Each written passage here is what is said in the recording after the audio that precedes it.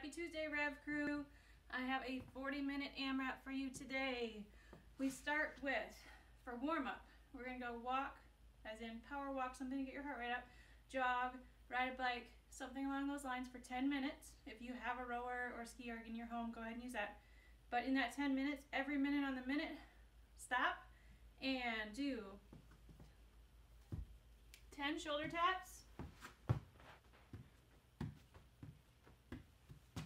and stand wide, 10 toe taps.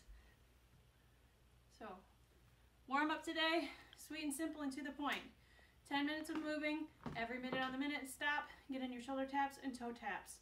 That's gonna stretch your hammies for you, get your shoulders ready to move, and engage the core. Okay, that's warm up. Then we're into our 40 minute AMRAP. This could be done.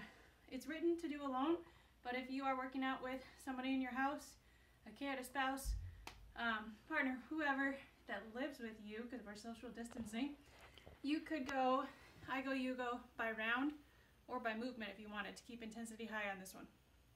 Let's run 100 meters or about 30 seconds of cardio.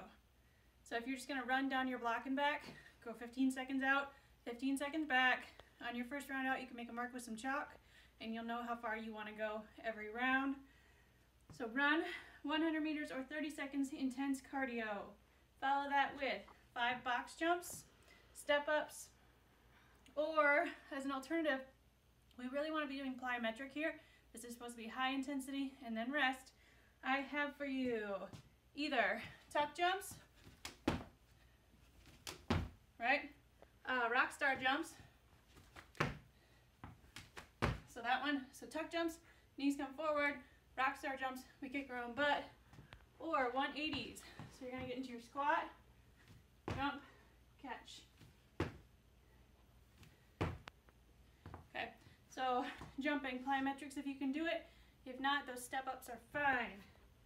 Seven push-ups next. You know how to do your push-ups. We're getting ready for Murph. Nine kettlebell or object swings even though I have kettlebells, I want to show you that you can swing a dumbbell. You start just the same. It's out in front of you. Sit your butt back, hike, and swing.